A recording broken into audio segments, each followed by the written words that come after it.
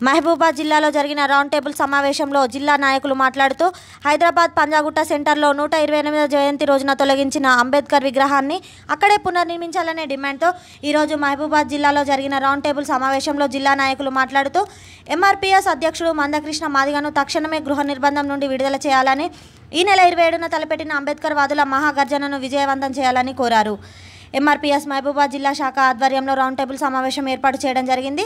ఈ కార్యక్రమంలో ఎంఆర్పీఎస్ జాతీయ కార్యదర్శి గుగ్గిల పీరయ్య జిల్లా అధ్యక్షుడు కనకయ్య సిపిఐ పార్టీ జిల్లా కార్యదర్శి విజయసారథి సిపిఎం పార్టీ జిల్లా కార్యదర్శి Sadula Srinivas T Sridhar N Shravan D Ramurthy Razia తదితరులు పాల్గొన్నారు. అంబేద్కర్ నిలువెత్తు విగ్రహం నూట ఇరవై ఐదు అడుగులు పెడుతున్నాడు మూడేళ్ళు అయింది. కడియం శ్రీరాన్ని చైర్మన్గా పెట్టిండు. చైనా చూసి వచ్చింది అన్నాడు. ఎక్కడుంది అది? ఎందుకు ఇంత నిర్లక్ష్యం? అంటే ఈ జాతులు ఈ కులాలంటే ఆయనకున్నటువంటి తేలిక భావం.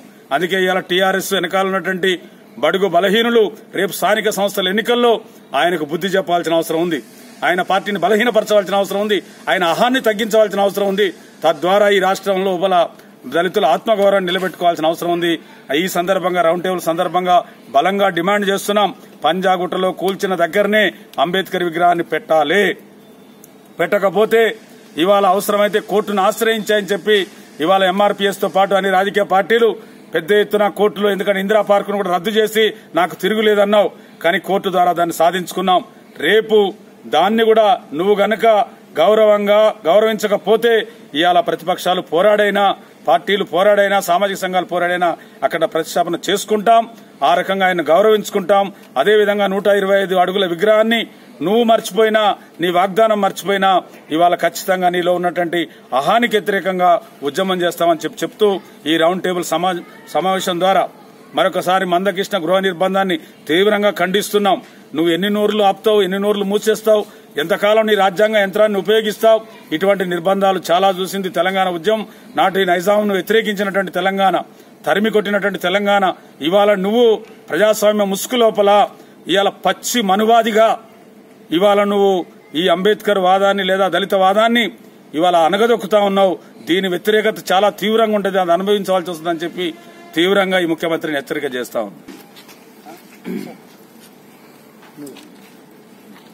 వద్ద పదమూడవ తేదీ నాడు ఏప్రిల్ పదమూడవ తేదీ నాడు అంబేద్కర్ విగ్రహ ప్రతిష్టాపన కోసం గద్దె నిర్మించి అంబేద్కర్ విగ్రహాన్ని ఏర్పాటు చేయడం జరిగింది.